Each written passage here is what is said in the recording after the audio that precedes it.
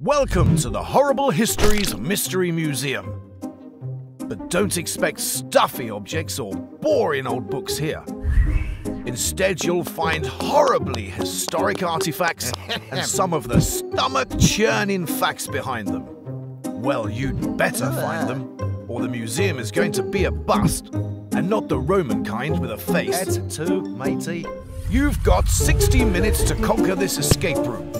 That's six zero, or about as many wives as Henry VIII wished he had.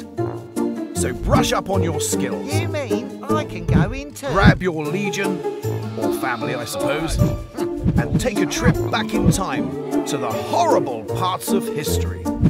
Book your place to the Horrible Histories Mystery Museum, the brand new escape room only in Liverpool. Oh dear.